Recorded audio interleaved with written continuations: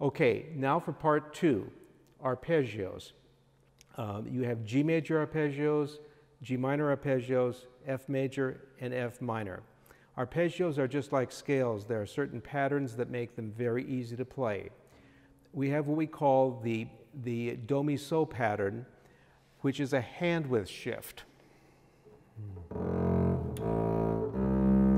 And then you do the same pattern on the next string, and then a hand and a half with shift.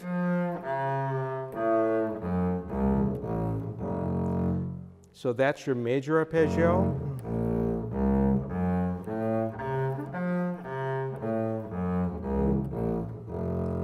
Your minor arpeggios are the same shift. Once again, only use your second finger rather than your fourth.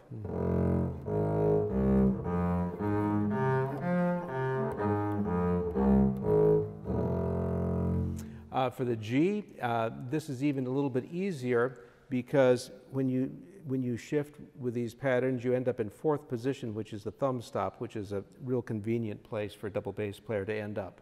Here's your G major arpeggio. Fourth position.